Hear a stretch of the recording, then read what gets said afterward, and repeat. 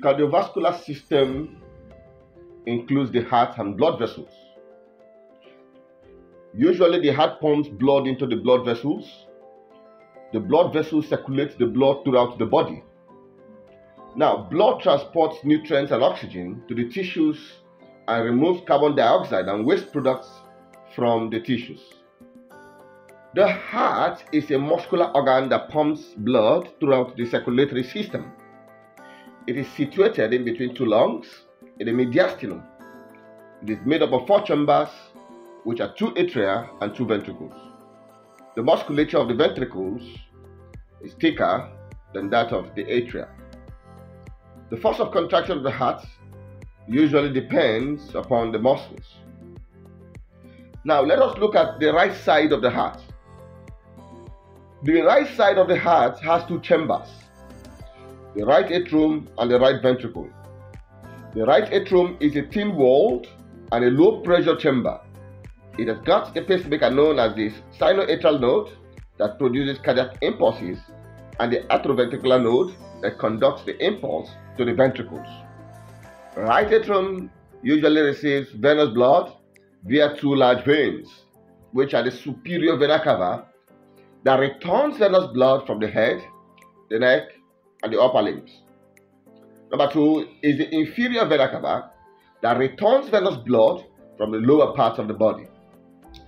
The right atrium communicates with the right ventricle through the tricuspid valve. The wall of right ventricle is thick. The venous blood from the right atrium enters the right ventricle through this valve. From the right ventricle, pulmonary artery arises. It carries the venous blood from the right ventricle to the lungs.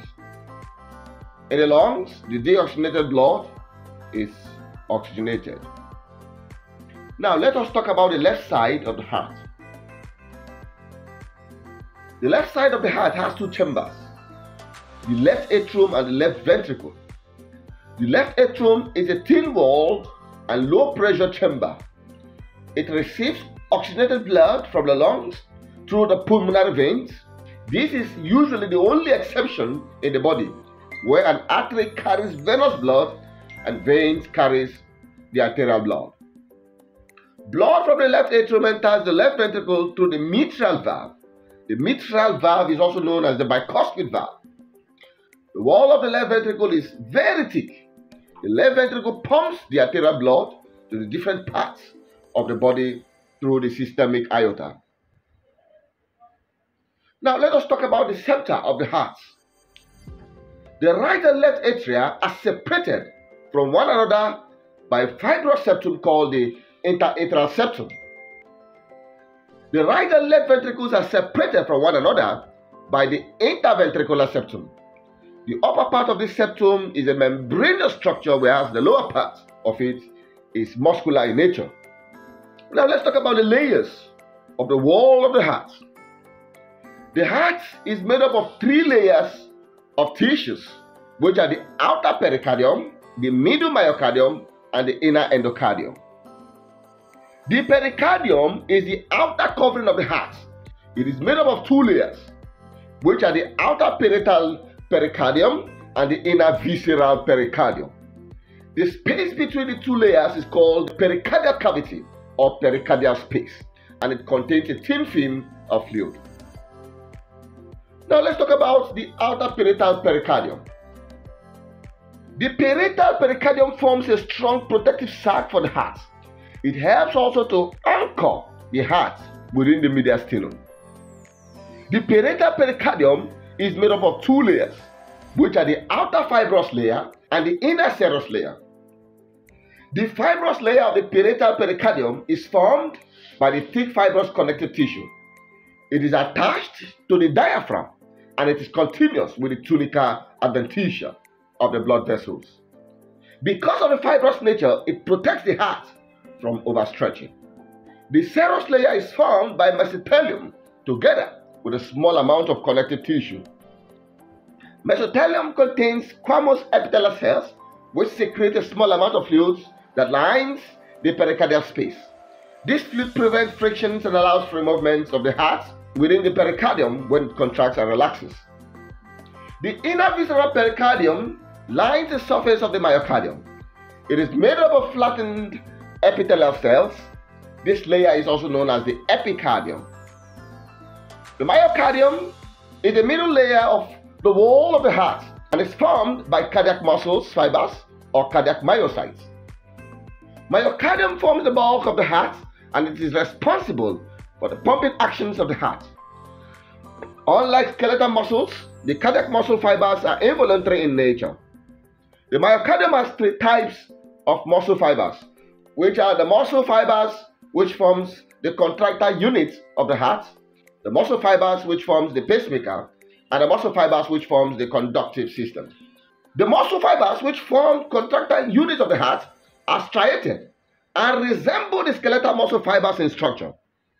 Cardiac muscle fiber is bound by sarcolemma. It has a centrally placed nucleus. The myofibrils are embedded in the sarcoplasm. The sarcomere of the cardiac muscle has all the contractile proteins, namely the actin, the myosin, troponin, and tropomyosin. The sarcotubular system in cardiac muscle is similar to that of skeletal muscle. Important difference between the skeletal muscle and cardiac muscle is that the cardiac muscle fiber is branch and the skeletal muscle is not branch. Now, intercalated disc is a tough double membranous structure situated at the junction between the branches of neighboring cardiac muscle fibers. It is formed by the fusion of the membrane of the cardiac muscle branches. The intercalated discs form adherens junctions, which play an important role in the contraction of cardiac muscle as a single unit.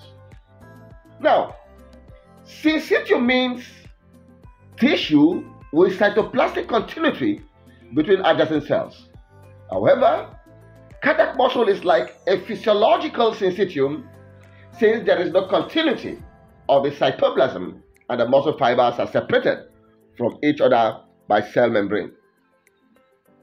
At the sites, the membranes of the adjacent muscle fibers fuse together to form gap junctions. The gap junction is permeable to ions and it facilitates the rapid conduction of action potential from one fiber to another. Because of this, all the cardiac muscle fibers act like a single unit, which is referred to as syncytium. Syncytium in human heart has two portions, which are the syncytium of atria and the syncytium of the ventricles. Both the portions of syncytium are connected by a thick non-conducting fibrous ring called the atrioventricular ring. Now, let's talk about the muscle fibers which form the pacemaker. Some of the muscle fibers of the heart are modified into a specialized structure known as pacemaker. These muscle fibers forming the pacemaker have less striation. The pacemaker is a structure in the heart that generates the impulses for heartbeats. It is formed by the pacemaker cells called the P cells. The sinoatrial node forms the pacemaker in the human heart. Now, the muscle fibers which form the conducting systems is formed by modified cardiac muscle fibers. Impulses from sinoatrial node are transmitted to the atria directly. However, the impulses are transmitted to the ventricles through various components of conducting systems. The endocardium is the innermost layer of the heart wall. It is a thin, smooth, and glistening membrane. It is formed by a single layer of endothelial cells lining the inner surface of the heart. The endocardium continues as endothelium of the blood vessels. Now let's talk about the valves of the heart. There are four valves in the human heart. Two valves are in between the atria and the ventricles called the atrioventricular valves. Other two are the semilunar valves that are placed at the opening of the blood vessels arising from the ventricles, namely the systemic aorta and the pulmonary artery. Valves of the heart permit the flow of blood through the heart in only one direction. Now let's talk about the atrioventricular valves. The left atrioventricular valve is otherwise known as the mitral valve or the bicuspid valve. It is formed by two valvular cups or flaps. The right atrioventricular valve is known as the tricuspid valve and it is formed by three cups. The brim of the atrioventricular valves is attached to the atrioventricular ring, which is the fibrous connection between the atria and the ventricles. The cups of the valves are attached to the papillary muscles by means of the chordae tendineae. The papillary muscles arise from the inner surface of the ventricles. The papillary muscles play an important role in the closure of the cups and in preventing the backflow of blood from ventricle to atria during ventricular contraction. Atrioventricular valves open only towards ventricles and prevents the backflow of blood into the atria. The semilunar valves are present at the openings of the systemic aorta and pulmonary artery and are known as aortic valves and pulmonary valves respectively. Because of the half moon shape, these two valves are called the semilunar valves. Semilunar valves are made up of three flaps. The semilunar valves open only towards the aorta and the pulmonary artery and prevent the backflow of blood into the ventricles. Now let us talk about the actions of the heart. The actions of the heart are classified into four types. Number one is a chronotropic action. Number two is the inotropic action.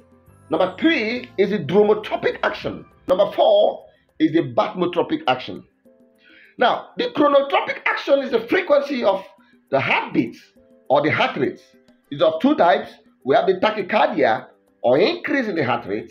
Number two is the bradycardia or decrease in the heart rate. Now, the force of contraction of the heart is called the inotropic action. It is of two types, which are the positive inotropic action or increase in the force of contraction, the negative inotropic action or decrease in the force of contraction. The dromotropic action is the conduction of impulse through the heart. It is of two types the positive dromotropic action or increase in the velocity of conduction.